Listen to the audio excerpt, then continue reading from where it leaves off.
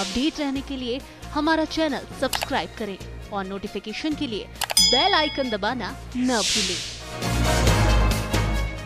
Prime 18 news channel अब net vision cable network पर 707 number पर उपलब्ध। प्रयागराज के कॉलविन अस्पताल पहुँची एसआईटी की टीम, छह सदस्यीय फॉरेंसिक टीम भी मौके पर पहुँची अस्पताल में सुरक्षा सख्त पुलिस बल तैनात एसआईटी और फॉरेंसिक टीम जायजा ले रही।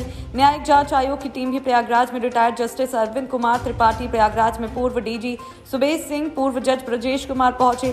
थोड़ी देर पहले एसआईटी के सदस्यों के साथ मीटिंग की थी। कॉलविन अस्पताल भी जा सकते हैं।